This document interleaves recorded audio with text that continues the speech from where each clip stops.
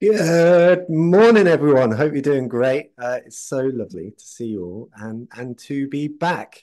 Uh, sorry if the audio is a little bit dodgy for a couple of you. We're trying out new things, so if that didn't come through quite right, then we'll sort it out for next week uh, for sure. Uh, right, it's so lovely to see you all. Thank you all. Uh, I can see folks popping in where they're watching from. Uh, uh, we've got folks in Munich and Cardiff, Dortmund, Warwickshire, Derby, Glasgow that's ridiculous. Uh, it's so lovely to see you all. Thank you for taking the time. Uh, today, I want to kick off 2024 in the same way as we do with most of our sessions, with asking you for two things. Uh, the first is especially uh, relevant for today's session, it being all about social media. So if you have uh, anything to take from today's session, your biggest takeaway, uh, please do share it on social media. That's the type of thing which helps the conversation go after today's session. That's also the type of thing uh, which helps build this community up and up. Uh, the second thing is just keep that chat feature buzzing. I mean, I can see so many lovely folks uh, popping in from, uh, we've got Pauline, Anna, Chelsea, uh, Lauren, Jessica, uh, Becky. thank you all so much for taking the time. Um, if you haven't already, don't forget to switch your chat feature to everyone so everyone can see your messages, not just hosts and panelists. I can see almost like a doubling of the amount of comments coming through uh, right now just to hosts and panelists only. So make sure to switch your toggle to everyone so you can see that. That's found in the chat feature. If that sounds good, let's get introducing our guest. So today we have Sophie Miller, who is the founder of Pretty Little Marketer. Um, Sophie's like just evidence that the world needs uh, that the world needs that nice folk don't finish last. Uh, she is kind beyond belief hugely successful. And she's one of those people that we just absolutely cheer from the sidelines, uh, marveling at her efforts, uh, often thinking, how is she doing that? Because like the velocity of Pretty Little Marketer over these past few years has been phenomenal to see, and it's just so gratifying uh, to have a good people person behind it too. So yeah, today's one of those days which is really exciting. Um, I hope you'll get an awful lot from it. Uh, today will function as a pure Q&A. Uh, so we're going to be taking some questions from me at the beginning, just to make sure we deliver on the promise of today's session with the title. But then we're going to be making sure that we take questions from you as well. Um, so if you would like to ask Sophie anything, uh, make sure to use the Q&A feature, which is found in sort of like the toolbar down the bottom. Get your questions in. And if you see any questions that you like, give it a thumbs up. I'll make sure that I prioritize it as we ask them. Right, I'm going to try something else fancy right now because before we get going, I need to say a big, big, big thank you to our sponsors. Uh, and this week's featured sponsor, it actually worked, I think, uh, is Exclaimer. So I love Exclaimer because it speaks to uh, the little things, getting the little things right, uh, which is all about uh, Exclaimer help you optimize your email signatures and do it across your company. They standardize it. Now, I don't know if any of you ever tried to standardize your email signatures for a company, even like of 10 people, it's blooming difficult. And so Exclaimer help you with that. They also help you turn your email signature into a marketing channel with uh, some nifty little features, which I really like. And they're giving a 20% discount code uh, to the marketing meetup community. Uh, so do take the time to check out Exclaimer. I'll put the uh, instructions on how to get 20% off in the follow up email. Also, uh, a big thank you to our other sponsors. Uh, we've got Frontify, uh, Klaviyo, Redgate, uh, Cambridge Marketing College, and maybe you one day. Uh, if you'd like to sponsor the marketing meetup, get in front of our lovely folks, uh, please do get in touch. With all that said, let's get going with today's session with another lovely transition. And Sophie, thank you so much for being here. Um, it's a joy as ever.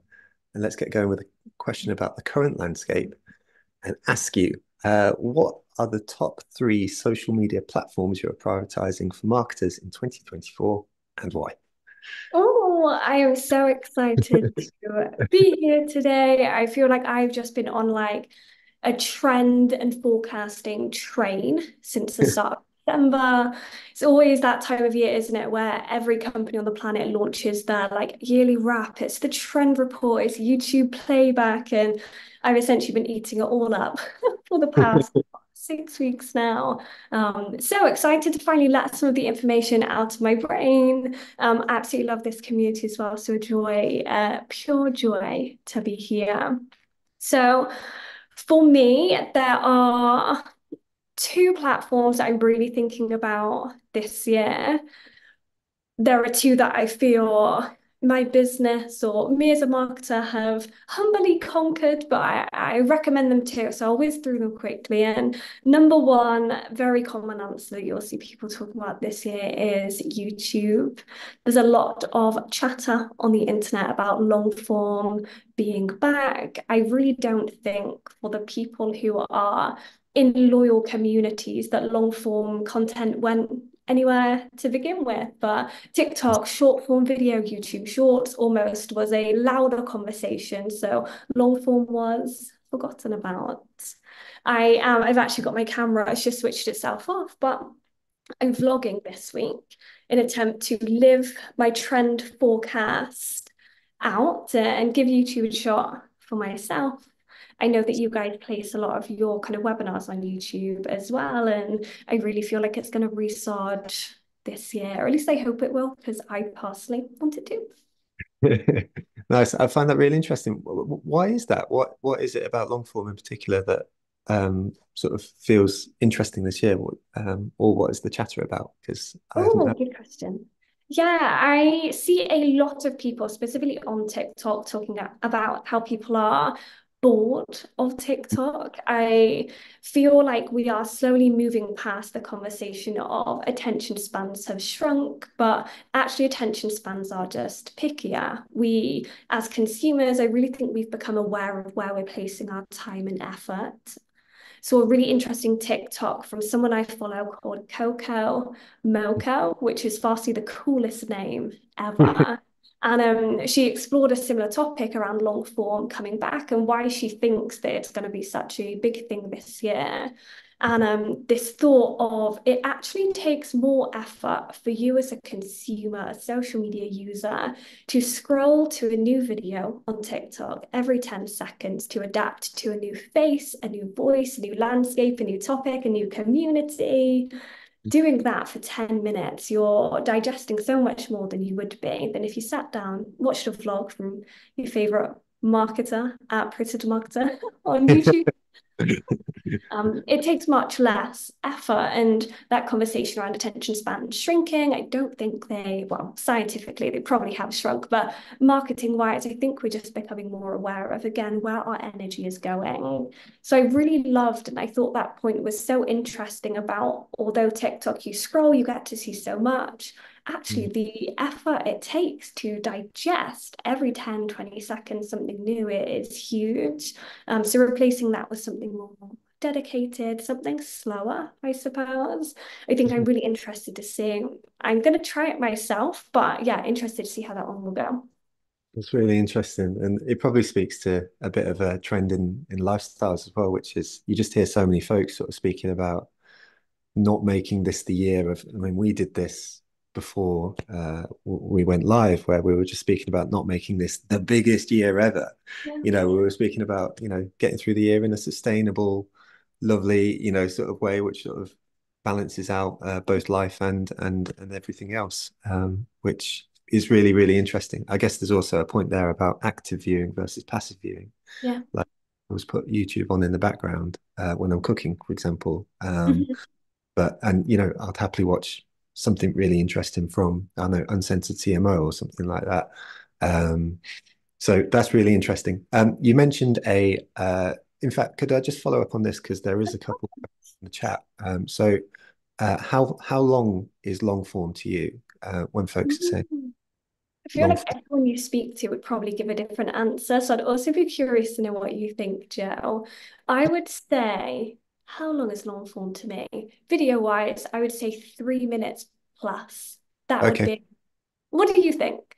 Yeah, I, I, I'm probably there as well. You know, it's Yeah. it's um beyond what you would comfortably post on social media Yeah. usually, you know, or expect Mhm. people to sort of scroll past. Uh, so we've got uh, Amy there in the chat, sort of 10, 10 minutes book there, sort of saying 15 to 30. So maybe you got sort of long form and then you got long, long form, maybe. Um, Extra long form.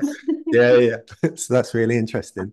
Um, you spoke about your second channel that you were thinking about as well. Um, so uh, what was the second platform that you're prioritizing for this year? Yeah, so although starting thinking of YouTube and long form, and for me, YouTube's going to be that very evergreen space. It's the place that I'm probably not going to be posting on all the time, but it's for the really loyal brand fans who are invested in my business and our community. And I guess like the polar opposite side to that is giving TikTok a proper run for its money this year. It was my, it's really embarrassing. It was my 2020 New Year's, 2022 New Year's resolution to post on TikTok every day of the year. And um, well, we're in 2024 now. I don't think I post very often at all. Um, but I really want my TikTok experience as a marketer to just be a place where I experiment. I was really lucky to grab 20 minutes with someone called Anna from Sisters and Seekers, who are a UK-based clothing brand. They've just hit 100,000 followers on TikTok this week, actually, and I interviewed her last week. Um, just learning more about their approach to TikToks, I think that they are an incredible example of how to do it well. And throughout every conversation, I was reading the transcription last night, ready to type up the interview, even for a company like theirs. Their TikTok approach is simply to experiment. Mm-hmm. So for me, looking at TikTok this year, less as a place to go viral, grow my audience, get leads, although all of those are, of course, possible over there. Really using it as a channel to experiment, have fun, try new things. Because if no one sees it, it's fine, awesome. But if people do see it, then there's some really good insights that could potentially travel. I feel like TikTok just runs the world in terms of trends and conversations as well. So figuring out how you, or for me, my brand could be a part of that, I think is going to be, yeah, a really good learning curve, hopefully, anyway. Nice. I love that. And, and it feels really important. I mean, so what would you say is your, so first thing we need to say is that before we came on today, we we sort of spoke about the difficulty in, in sort of speaking about these trends because like there's going to be so many people in so many different contexts that we definitely have to frame today as like this is Sophie's reflections on what's going on in the social media landscape and, and the things that you're thinking of rather than generic business advice uh, Yeah, that you know everyone take into their into their business every day. Um, nonetheless, when you're sort of speaking about experimentation, for you at the very least, if you're not thinking about going viral, what Mhm. are you about on TikTok that is is it the experimentation just to see what works and then you double down on that, or are you sort of thinking about something else? W what's the direction of that experimentation? Awesome. Yeah, two things. I think number one is that experimenting on like topics and trends. And me as a marketer, you know, it was um, the Grammys last week. I know it was the Emmys last night. And I am really into pop culture. And I think as marketers, as brands, we should be. Pop culture literally one runs our world. It's the memes we see on TikTok, on Twitter, it influences what people or de-influences what people buy, the sports games people go to, i.e. Taylor Swift and where she is and what she's up to. Um, so for me, number one, figuring out kind of like where I fit in that and how I can use the power of TikTok in terms of those conversations and trends to build my business in the right way. Um, and then two, something I, I know a lot of people are talking about this this year is of course personal branding, which we all know is nothing new. Personal branding has been around forever, but I suppose with the power of the internet now, it just looks different. Mm. I um often recommend, and I know others do too, LinkedIn for your personal brand building in a professional sense is or has been for me an incredible place to get in front of new people, to position my business. I always call it proper, but with authority and hopefully some credibility too. But I think video, and I know that people have done this long before I've been thinking about it, video almost gives that personal brand that extra depth. So that when you're thinking about PLM, for example, you can hear what PLM and see what PLM sounds like as opposed to just copy on your noisy LinkedIn feed. So, twofold, I suppose. Number one, figuring out where I fit in that trend cycle and how I can leverage that for my business, as again, many others have done before. But two, almost giving, I guess, giving my brand dimension through TikTok and deepening it a little more. Um, of course, many, many ways to use TikTok this year, but those are the two main ones for me. Nice, I love that. And um, what you're speaking about as well is also mirrored through different elements of marketing as well. So um, we've previously had Grace Kite, Dr. Grace Kite, and I think it was Azim in our SEO um, panel that we held a, uh, late year. Both of them were recommending video as as the go-to sort of format in terms of the thing that people should be really, really thinking about. Um, so that is really interesting that it's just been mirrored across um, mm-hmm different elements from within the sort of marketing sphere. So um, there's a real encouragement there. And of course, Sandbrook in the chat right now saying "Yup" in capital letters, uh, who's always been convinced of the power of video. Um, mm-hmm. so that's uh, really, really important. Um, cool. I can see that we've got 23 open questions right now. There's also been a bunch that have come through uh, the, the, the chat feature. If I could just ask folks to uh, pop questions in the Q and A and make sure that any you would really like us are given a thumbs up, then we'll make sure to prioritize those in the second half of today's session um, in sort of the next sort of 10 to 12 minutes or so. Um, but let's continue because uh, I want to make sure that we, as I say, deliver on the promise of what we asked uh, at the beginning of today's session. So um, when we're speaking about emerging trends, this is quite a difficult thing um, because, you know, trends will emerge as the year goes on. Mm -hmm. But can you identify anything at the moment where you're like, you know what, this is probably going to be something in the next year that marketers should be aware of uh, trend wise? Absolutely. So I have got a tiny list with me. So I've got three that I mm-hmm. am really thinking about, not just for myself, but for my clients as well. So I consult with B2B and B2C brands on how they can use social media. Now, my focus and my outlook, my perspective on socials is very community focused. So a lot of these are going to be based in my bias of social media as a relationship tool if you are interested in having like a deeper dive into, I guess, more data backed um, emerging trends, HubSpot, Hootsuite, SEMrush all have great free reports that you can likely find on the internet too. Amazing. So number one is something that I shared on LinkedIn on the PLM channel a few weeks back that got a lot of people talking in the comments actually, and it is this thought of employees as influencers. And if you're live in the chat, I'd love to hear your thoughts on this as well, because it's a conversation that I'm really interested in.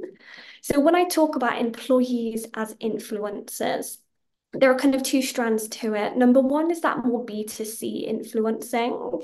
If any of you have seen SheerLuxe on TikTok, or I guess a more recent example loosely might be Ben Gallagher from Luxe Collective, and how they almost as employees become the faces of their brand. There's a um, beautiful girl in the Luxe, uh, Luxe team called Sapna. I always hope I say her name correctly. And um, she's on the SheerLuxe. No, she's on, yeah, it's Luxe TikTok channel. She's on their Instagram. She does like her product roundups on stories. But I love her recommendations so much through the company page that I've gone on to find her personal Instagram. I follow her. She influences, she does brand deals through there. So I think that's going to be a really interesting dynamic there in the B2C space specifically. The way I see that looking for B2B is probably leveraging more LinkedIn, maybe TikTok, and creating thought leaders in your company. I think that Born Social do a good job at this on LinkedIn and TikTok. Um, Klowt, Amelia Sordell's brand, a lot of her employees post about personal branding, their wins, their client wins, and less influencing, I suppose. But again, using those as in my post, I called them community connectors. So it's like brand people, but you've got your employees in the middle almost helping people up onto that platform. So I don't know how it's going to play out, whether that's going to be something we look back on in five years and think, God, we explored all, of our employees, that was awful, or whether it'll be like hugely innovative and great. So number one, I really love these thoughts in the chat as well, is that thought of employees as influencers and how that could play out. That's fabulous. Um, like uh, there's a lot of agreement in the chat here, and and and uh, folks really are agreeing with the importance of it. Um, I'd, I'd love to carry on to number two if, if you wouldn't mind. Awesome. Yes, of course. Number two, I guess less, it's not anything new, but I think it's something that a lot of brands are going to prioritize more this year. It was Paula Perez. I think that is their name. They are a community manager at Oatly. I follow them on LinkedIn and they did a post early December and it was screenshots from them being cheeky from the Oatly TikTok account and replying to people. And um, obviously they are in industry, they are running a, a, huge account. And I'm really loving seeing bigger brands note the importance of not just building relationship, you know, being relatable, building your personal brand, being unhinged or whatever it might be, but actually taking it from like, this is our funny content that you enjoy. Here's you commenting and connecting with them through their comment sections. Again, I think attention span isn't shrinking, we're just becoming fussier and just being relatable through our content. I'm not sure it's enough anymore when our attention is being fought for all day, every day. Um, again, I spoke with Anna from Sisters and Seekers about this, and she says that she loves replying to comments because it positions them as a friend. It's just someone in the group chat, it's someone replying to them and rewarding that engagement as well. I um remember I did a post on LinkedIn a while back about Monzo, who are just they rock marketing, and um whoever I don't know if it's Richard Cook who manages the LinkedIn or whoever it is that manages the LinkedIn commented, and it was something funny, and I remember screenshotting it. It's almost like a badge of honor of like Monzo commented on my account. They've seen it. This is awesome. So really interested to see like who does that better this year and who's going to prioritize that as well. Um, I, love that. Just to just to jump in there, I, I think it's a really fabulous point and, and one that would work in a range of contexts as well. Um, because I think some folks would sort of say uh, Monzo is a type of company where you do get that badge of honor, but yeah. you're a, an engineering firm uh, in Cambridge, you know, and and that's highly relevant to you and your world. Um, it, it, works in exactly the same way, and I think there'll be a temptation for some folks to go, "Oh, my company's not as interesting as Monzo, mm-hmm. but um, I, I, think uh, it, that point is just one that's really well to be reinforced for, for everyone sort of engage yeah. Absolutely. One of my challenges this year is to, especially through the PLM channels, try and reply, not always, but try my best to reply to every comment. So you're not just brand person, it's like a, it's a shared space. And um, my third and final kind of prediction for this year is something similar. Obviously, the use of AI is oh, all people are talking about now. It's like a big trend prediction for this year. It was last year as well, and probably will be next year. But AI and the conversation around that trend speaks to me more in a how can I be different and unique way, as opposed to, I don't know, how can I get GPT to write my captions or whatnot? And something I'm really thinking about this year and I guess it ties in with those two other predictions as well. And my love for community building and relationship is that immersive experience that brands are creating online. So, again, whether it's Oatly or our engineering firm in Cambridge replying to their comments, it's like opening the door to their workshop and being in there with them. I think it's one of the reasons why people are talking so much about authenticity at the moment as well it's more than being relatable or showing behind the scenes. It's that immersive, inviting the outside in almost and getting to know brands and allowing your audience to know you as more than just an engineering firm, but here's the person at the front desk, here's the person doing XYZ, here are our values, here's where we came from. Um, so use of AI trend leading into that thought of that experimental experience online community vibes buzzwords I love it. But I also, the thing that I, I appreciate about that last point in particular is that it loops back around with the the longer form content as well. You know, Yeah, because you're uh-huh. doing both, you're doing both those things. So Absolutely. everything ties up really, really, um, really, really well uh, together. Um, I could see that um, on the first point where you were sort of mentioning um, uh, employers as advocates, there were some uh, comments in the chat about um, folks being worried about uh, their employees not necessarily wanting to appear on camera and stuff like that. Uh, what I'll do after today's session, because we probably don't have a lot of time to go into that today, is I'll link a session that we did last year uh, in the follow-up email, uh, which I think will hopefully help folks uh, with a little bit of that as well. Um, so watch out for that in there.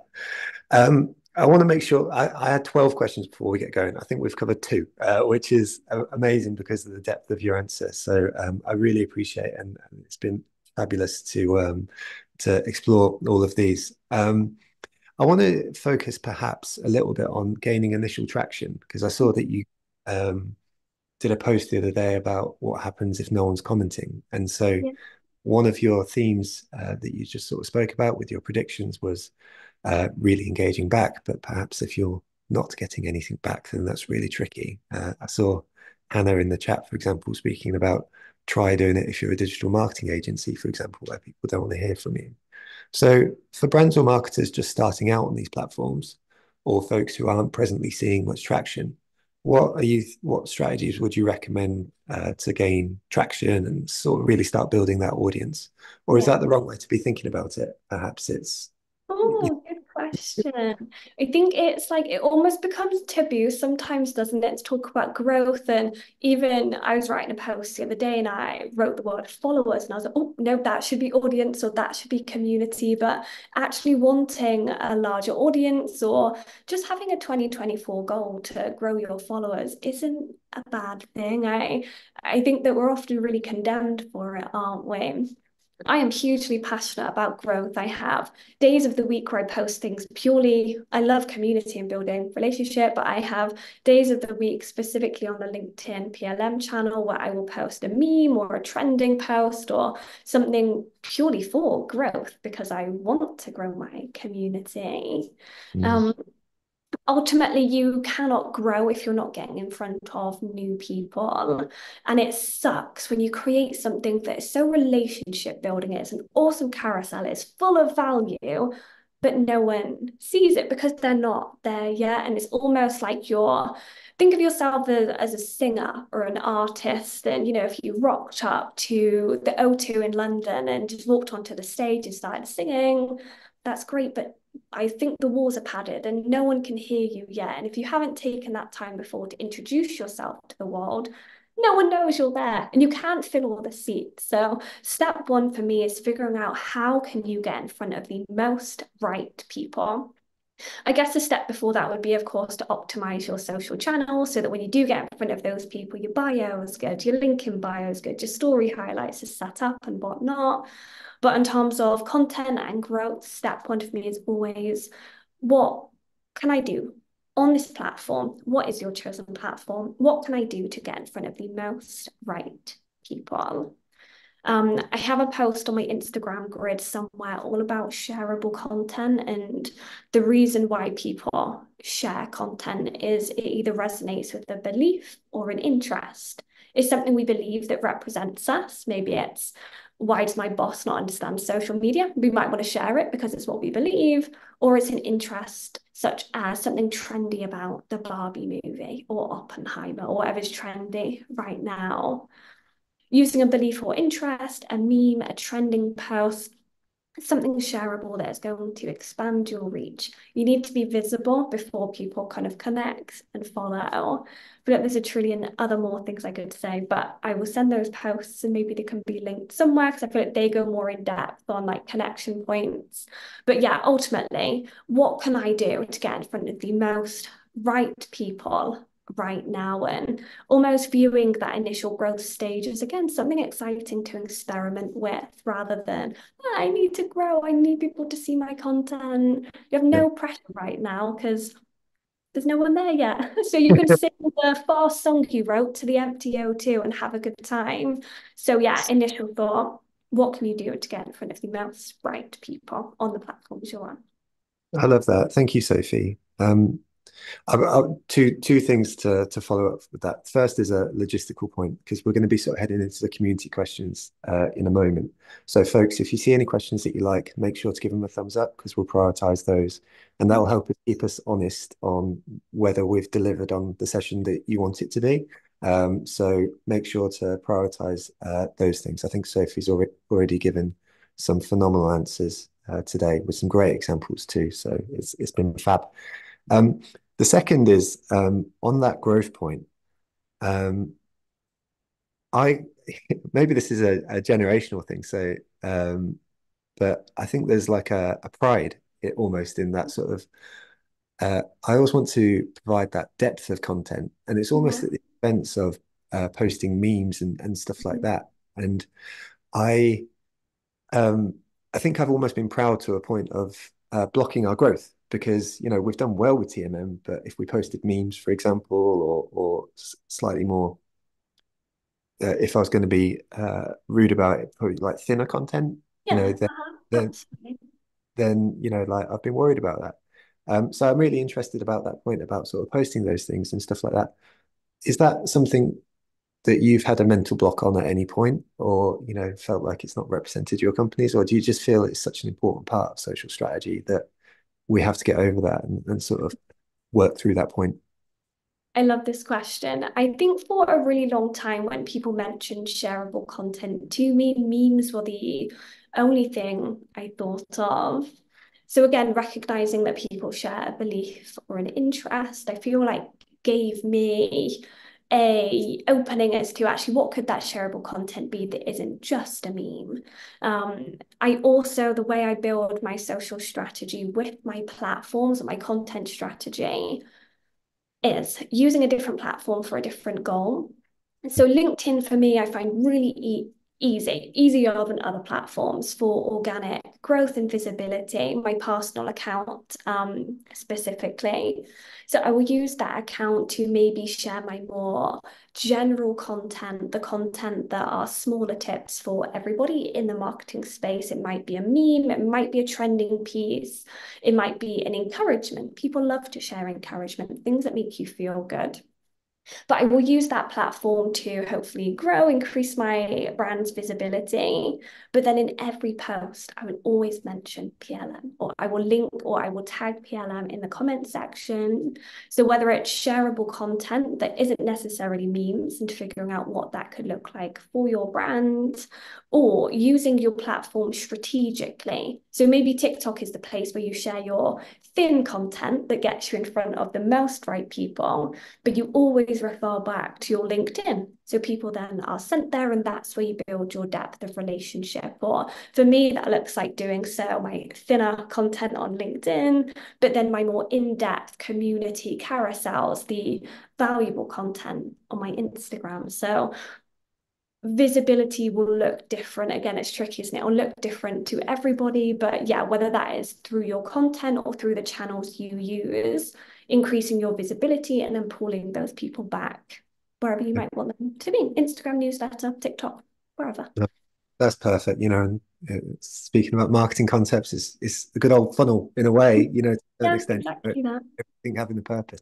So Thank you very much. Um, I really appreciate that answer because I, I think even that just helps me get past my own mental block as much as anything else. So um, thank you. Um, let's start taking questions from the community. We've got 25 minutes left, uh, 54 uh, open questions. Uh, so we'll do our best to both get through what we can, but also make sure the depth of the conversation uh, is, is appropriate. So the first one is from Dale. Um, so I'm, I'm going to read it slowly, uh, Sophie, so you've got time to uh, to to to think about the answer. Uh, you've already mentioned one, I think, today. Um, but which B two B companies do you think are smashing uh, TikTok right now? Oh, good question. I think two come to mind initially. Um, number one would be more is it morning brew or marketing brew what's like the big company i think it's morning brew and morning then they've niche brews underneath morning brew i would consider them to be B2B. Mm. I, yeah, I guess so. If you're not familiar with Morning Brew, oh, how would you describe them? I guess they're like a a It's a- news outlet. Yeah. Yeah, I think that's right. I publish a, publish a news outlet, but Yeah. target businesses. So They're awesome. They have uh, a great newsletter if you're interested, first of all. It's free, I think, through every day as well. But on the TikTok piece, Morning Brew, they have the best TikTok channel. It was Rachel Carl Karten, Karten, who runs a newsletter called, I think it's link in bio. If not, I'll send it to you, Joe, and we can recommend it. Um, she actually interviewed the social media manager from Morning Brew. So if you haven't checked them out, I highly recommend. They almost like dramatize and make light of news with the end goal of like entertaining people and delivering the news. That is the whole goal of the business. That's what they do. But the way that differs from their Instagram, where it's just a news story, to their newsletter, where it's a bit more built out, to their TikTok, where it's entertainment value. I think it's really interesting when you look at their social channels to see they do the same thing, but how they do it in those places is really different. So Morning Brew would absolutely be number one. And then number two, again, I'm not sure if we'd consider them to be B2B. I definitely do, would be Adobe. Um, they do really awesome content with their UGC content. And despite it being a tool and a software, all of their videos have a person in, have a human in, which feels really backwards. But I, again, goes back to that thought of one, employees as influencers, or not even just employees, but like the faces of your brands and how you can build relationship that way. Um, I'd say they're quite polar opposite, Adobe and Morning Brew, but those would be my two, my two favorites. But if anyone else has any faves, please pop them in the chat. I would love to know. Yeah, absolutely. That's that's a great call out as well, actually. Thank you. And, and thank you for those two. I, I think that that works perfectly because they're two very different companies. Yeah, Um, but definitely. go go in very different ways. So thank you. Um, let's take the next one, uh, which comes from uh, an anonymous attendee. Um, they're always mysterious. In fact, Mhm. almost all of the top questions today are from anonymous. So um, someone's asking very good questions, or or these are different folks. Um, but um, the question is, where we have an audience on a social media channel that's become a bit stagnant, uh, how can we best re-engage these folks? Really good question. It is the worst feeling sometimes, isn't it? I um I've lost my mouse. There we go. I worked with a brand two years ago. It was quite a while ago now, and they used to have a thriving uh, LinkedIn company page, and their engagement used to be great. It used to result in some really high quality applications and recommendations, and then their social media person left. It was left to another team. They didn't have time because when you already have a job, social media is a job in itself, and it wasn't used for around a year. Audience wise, you forget, you fall out of love, you're engaging with other people, so they become up at the top of your home pages over people that aren't posting, started posting again, and nothing. All of the old brand fans were gone. They were replicating a similar type of content, but it just wasn't working. Um, so we worked with them for a little while to basically be like, right, how can we make people love us again? How can we reconnect? Mhm. And um, I guess there are a few steps to it. The first step to me, and again, I guess going back to that thin content that doesn't necessarily do much for you brand wise, probably doesn't result in the most leads or sales, but the really low barrier content that people can get involved with. Because when people comment and interact, more people will see it, which is great, but also it provides them almost like it's the first day at the gym. Once you've done that, you've interacted once, when you see them again, it's easier to do so because you've you've had that initial touch point. I do this a lot on the PLM LinkedIn page, the Pretty Little Marketer LinkedIn page. Once a week, I'll do a really low barrier, really easy. Three reminders for social media managers. You are great. Likes suck. Elon Musk is the worst. Whatever those three reminders are, what would you add? What's number four? And that's a really loose example that's going to look different to everybody. But my first step when working with that brand, and I've done it before re more recently too, is there's like low barrier. What can I do to make it just this? It's easy. It's not the best content, but it gets people through the doors. On the, um, I guess on the opposite side of that, waiting for people to come to you is going to people. So again, whether it's on TikTok, using that brand account to comment on relevant posts in your page or the same on LinkedIn as well. How can you allow people externally to become familiar with you again? So again, not going to build the business too much, but I feel like it's really important in your content rotation to have those posts that probably aren't going to make the most money or your ICP or your leads, just those easy ones that again open the doors. So finding easy ways to make people come to you, hopefully interact and engage, or if that's not happening, we're going outward, we're, joining the comment sections, we're joining conversations and trying that approach.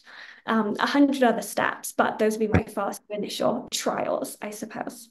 That's perfect. And uh, the the the second point, the one that I take from that, the, the the sort of spirit behind it is that none of these things happen by accident or by themselves. You know, I think mm-hmm. that's been the promise of social media for so long is you post once you go viral, profit. Oh God, yeah. No. it is that thing, which is like elbow grease. You know, you turn up, you show up, you respond, uh, mm-hmm. uh, part of the community, etc., etc. That's how you build it up. Um, mm-hmm. and, you know, even examples such as Duolingo, which again I appreciate is a big brand, but yeah. they show up. They show up regularly, um, and and therefore they've built you know a real sort of momentum behind what they do. Um, so. Uh, thank you for that. Uh, not only for the examples and the direction, but also the principles behind them, because I think that's really useful. Um, we've got Venetia in the, the chat saying this is incredible, learning so much. So, so there we go. um, we've got next one from anonymous uh, to move into a completely different space. Who asks uh, about your go-to apps to manage your social. Ooh, um, so trying to think about what I use. I use Planable as a scheduling tool. They are a scheduling and collaboration tool. So scheduling wise, Planable, I use Dash Hudson a lot at the moment for social listening. They have a really awesome tool on, I think it's on their paid subscription called Vision AI that can give you the sentiment analysis of your comments, what people think, um, but also it will predict the uh, like engagement level of the post before it goes live based on your, it's all very fancy. So Planable, um, Dash Hudson. I use CapCut for all things video, Canva for all things static.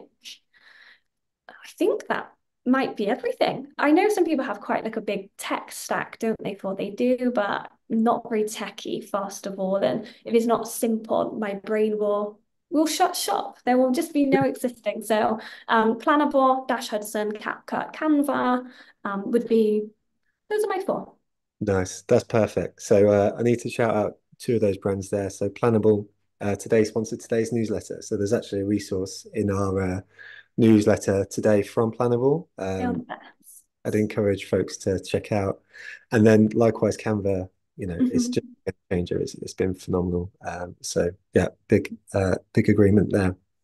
Um, this next one's a big one, and I think AO asked it earlier in, in the chat as well. I, I saw it pop up in the chat, and uh, folks were asking about it, which is demonstrating the value of digital marketing or, or specifically social media uh, in a way that bosses care about. Um, because I guess as we've spoken about things today, we've also reflected on stuff such as that conversation around the, the quote unquote thinner content. And I don't yeah. think that's necessarily the right, right word to use all the time.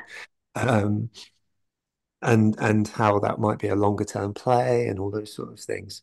I mean, when you're going into these businesses, and I don't think you do quite as much freelancing as you used to, but um, when you're trying to justify the effort of your social media, how do you how do you begin to have those conversations?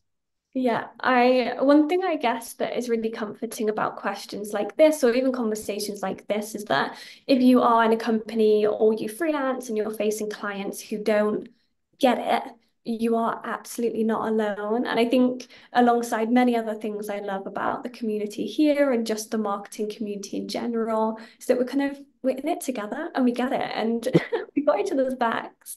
Um, but yeah, no, absolutely something I have faced many times. I have brand, I've had brands come to me for consulting, previously social media management. You know, you're the expert, you do this. Okay, well, hmm. this is how it's going to happen.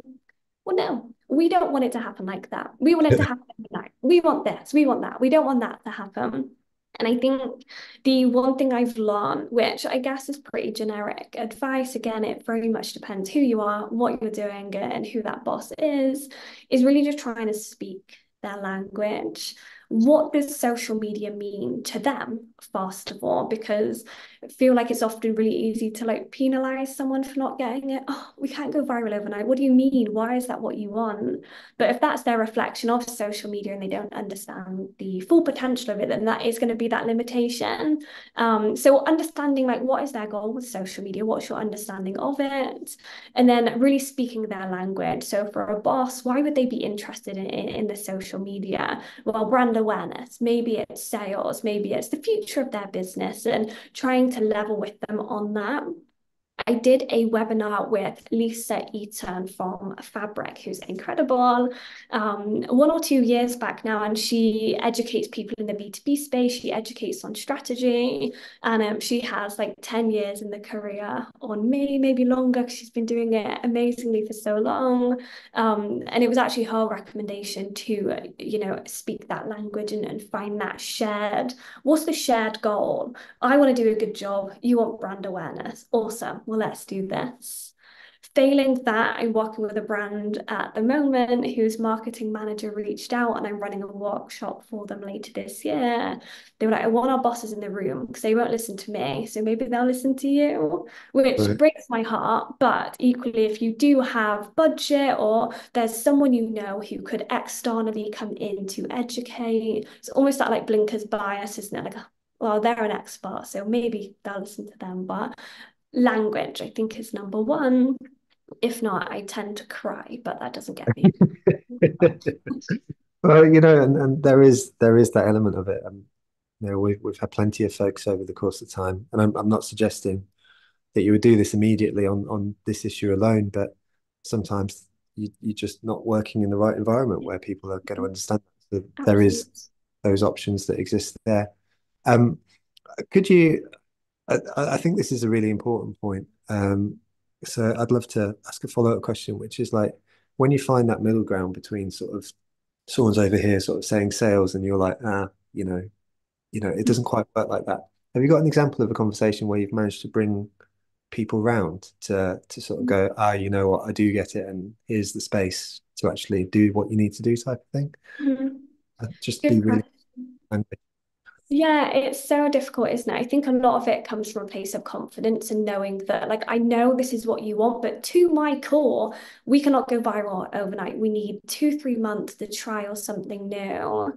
Um, I don't think I have. I have been quite lucky. Well, luck is a subjective word, but always I've never had huge pushback, I would mm. say. What I do tend to do it, I'm quite a practical person. So maybe my middle ground and the reason why there's never any no, Sophia, I will never do that.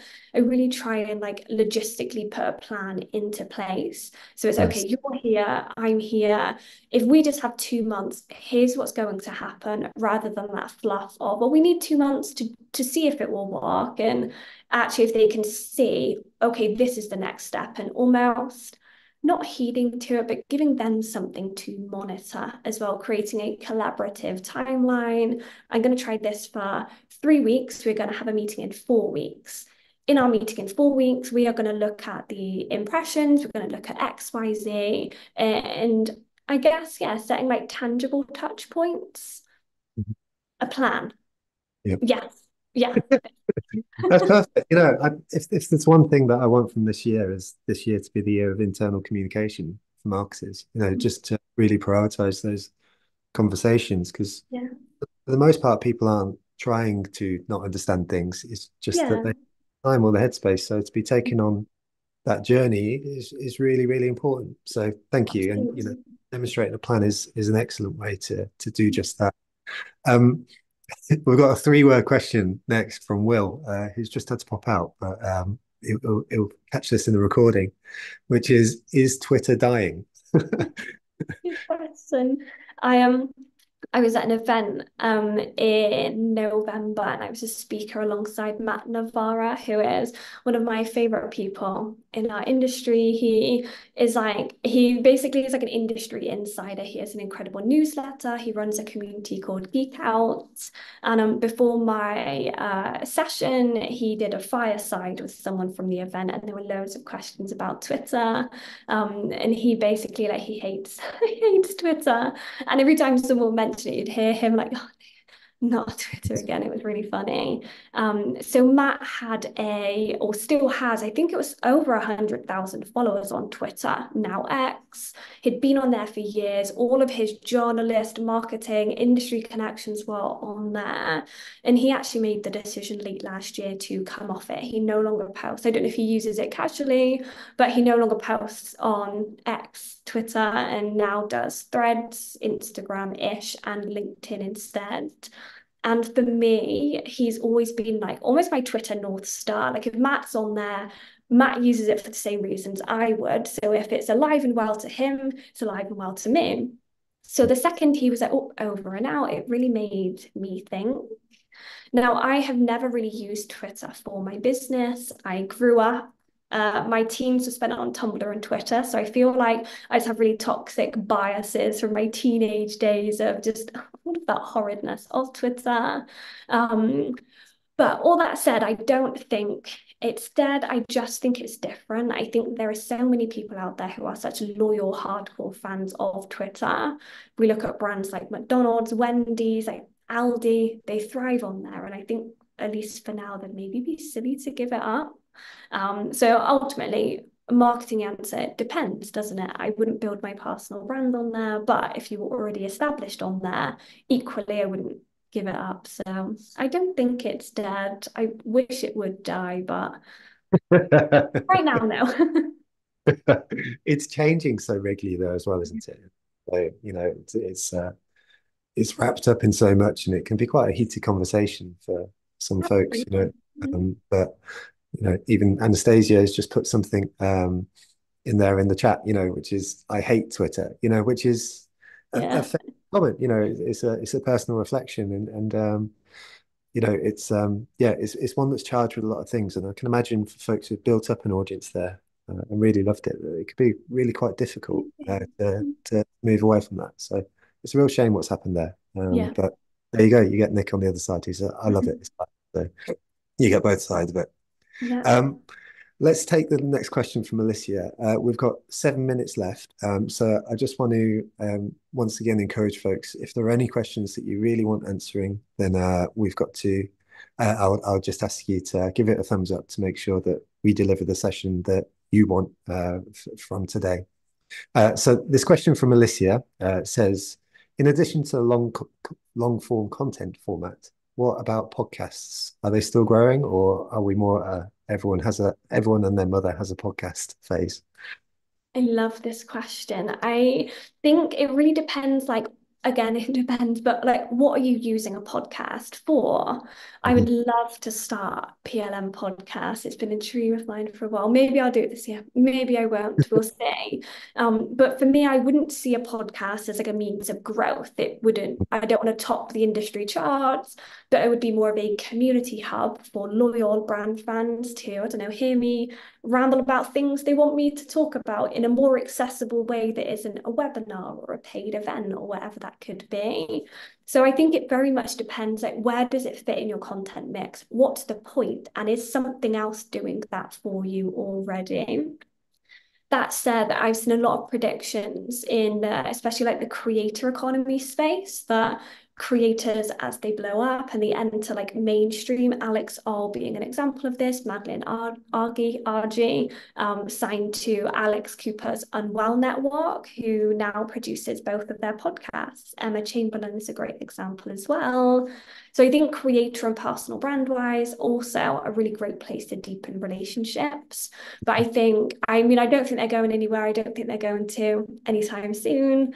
I don't think it's quite the boom it was a few years ago because it's not it's not new anymore. We're used to it. I think that's the only reason why we assume a plateau. Um, but yeah, it depends where, why, why do you want to start a podcast? What's the point? And just making sure it fits logically, I would say. I love that, and and thank you for reinforcing that point because I think that's a really strong takeaway that folks can take from today's session is you know thinking about these platforms in different uh, rather than just doing a podcast, just doing a LinkedIn post, whatever it is. You know, having a clear purpose behind these things. It's exactly the type of thing that a decent marketing strategy should be thinking about when when you're putting together your tactical plan. But yeah. uh, we even do it at, at, at TMM, you know, where we'll sort of think, oh, okay, we need three posts this week, and we'll think about the post rather than the purpose first. Yeah. And sort of to switch that narrative around is is so so important, and particularly when interacting between the different platforms as well. So, I just want to thank you for reinforcing that point because I think that's um, if if social isn't your space, that's not necessarily an intuitive thing to do, uh, but I think it, it's really really important. Um, I want to pick up on the second question from Alicia because um, again, you know, we're, we're, we're speaking in generic terms here about platforms, and I appreciate it will be um, something for everyone will have different things to take about this. Um, but we haven't mentioned threads really today, and uh, that's you know, of course, it landed with a, a splash last year, and then kind of dissipated, in my opinion. But I have been seeing that you've carried on posting on threads, so I'd love to know why you've continued doing that and um, you know your general observations on threads yeah. in its totality um, so one thing you need to know about me is I'm very stubborn. Um, so like when Threads launched, I'll say Threads is amazing. Everyone should be on it, and I've committed to that now. So I will, I will never give up. So first and foremost, I'm stubborn, and when I say that I like something and I'll do it, I will. But second of all, I think I struggle recommending threads because although as a user and I guess as a creator, someone that posts on there, I absolutely love it. I am equally incredibly fortunate, and I think the brands and individuals that thrive on there are too. That when they joined Threads, they already had a, a loyal group from Instagram ready and waiting to see them in a new format. So it was almost like, I don't know, adding a new room to your house. You already know it's going to be cozy, it's going to be good, you've already been there before. So I think a lot of my threads enjoyment comes from that. Not necessarily bias, but I already have an audience who are bought into what I do. So when I do post, at least a few people see it, hopefully enjoy it, maybe respond. Whereas if you don't have that on Instagram, you're going to join threads, you're going to post, might be tumbleweed and when you're not seeing that return it's really hard to continue. So i i guess it depends. If instagram is your jam and it, your community over there is awesome then threads will likely be somewhere you really enjoy as well. That said i don't think it's a place to totally write off. Again we're all about experimenting this year um, my feed on threads is always so conversational. It's not just about the hearts and the likes. Everyone replies to everyone. I've made some awesome connections over there. We don't even follow each other elsewhere, but like we'll just reply to each other's threads on threads. Um, so I guess again, it comes back to like, what am I using it for? If I'm expecting to blow up and have loads of community engagement, might be disappointed. But if mm. I'm just there to connect with others and learn from them, maybe it could work. So yeah, it's hard because it's very it's just Instagram but text. So if you like Instagram, it might be for you. Um, I don't think it's going to disappear anytime soon. So yeah, it's hard because it's new. It's still a baby, but those would be my best thoughts. That's that's perfect, you know, and, and, and that's all we can uh, that's all we can ask you for. So thank you very much, uh, Sophie. Um, folks, we've come to uh, our hour. Um, I know that as part of uh, Sophie's strategy in the past, then um, she has taken questions from sessions like today and then sort of created content off the back of it. So what I'm going to do is create uh, a document which I'm going to send to Sophie, and she will have uh, 76 open questions uh, to to to create content. So I'd really encourage you to, uh, to to follow Sophie because the content she's putting out is phenomenal. Um, Likewise, I'm going to do the fancy thing as well. I just want to say a big thank you to our sponsors for today. It really means that we can bring these sessions to you for free. So thank you once again to Frontify, Exclaimer, Klaviyo, Redgate, Cambridge Marketing College, and maybe you one day. Um, and with all that said, uh, we'll be back next Tuesday uh, with Andy Lambert, uh, speaking all about uh, how to build a social media strategy with a step-by-step guide. Uh, so if you would like to join that session, then it's two o'clock. It's free to join, and uh, you'd be very, very welcome. Uh, Sophie, you're a freaking legend. Thank you very much for today. Um, it was so insightful. Great examples, great resources. Um, your journey is just wonderful to watch. So congratulations on on everything, and uh, thank you to the community as well. I can see bunches and bunches of really fabulous comments coming in. You're all appreciated more than you will ever know. Um, so thank you for making this first session of this year uh, truly special. Um, with all that said, uh, hope to see you next week. And uh, in the meantime, have a cracking week.